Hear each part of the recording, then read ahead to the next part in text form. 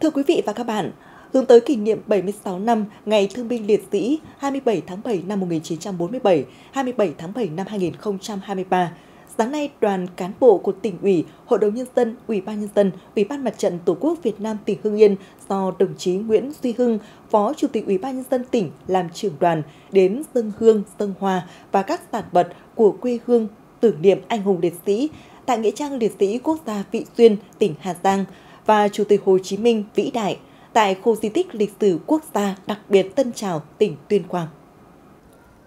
Nghĩa trang Liệt sĩ Quốc gia Vị Xuyên là nơi an nghỉ của hơn 1.800 liệt sĩ cùng phần mộ tập thể các liệt sĩ đã hy sinh trong cuộc chiến bảo vệ biên giới phía Bắc của Tổ quốc, trong đó có phần mộ của các liệt sĩ là người con của quê hương Hương Yên. Trong không khí trang nghiêm, thành kính, đồng chí Nguyễn Duy Hưng, Phó Chủ tịch Ủy ban nhân dân tỉnh và các đại biểu dân hương hoa và các sản vật quê hương tưởng nhớ tri ân các hùng liệt sĩ.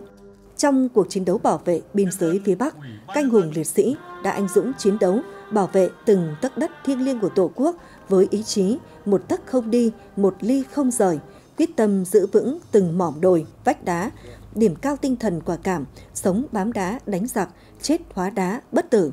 Riêng tại mặt trận Vị Xuyên, hơn 4.000 cán bộ chiến sĩ đã anh dũng hy sinh, hơn 9.000 người bị thương và hiện vẫn còn hàng nghìn hài cốt của cán bộ chiến sĩ nằm rải rác trong khe đá thung sâu.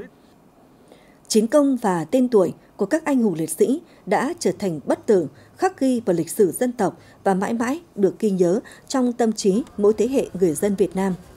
Trước đó, ngày 21 tháng 7, đoàn đến dâng hương hoa và các sản vật của quê hương Hương Yên tưởng nhớ Chủ tịch Hồ Chí Minh tại Lán Nà Đưa trong khu di tích lịch sử quốc gia đặc biệt Tân Trào.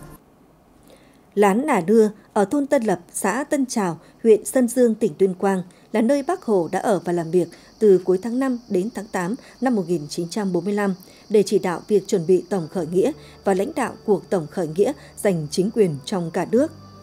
Trước anh linh Chủ tịch Hồ Chí Minh, đồng chí Phó Chủ tịch Ủy ban dân tỉnh cùng đoàn dành phút mặc niệm tưởng nhớ người và bày tỏ lòng biết ơn vô hạn về công lao to lớn của người, vị lãnh tụ thiên tài, người thầy vĩ đại của cách mạng Việt Nam,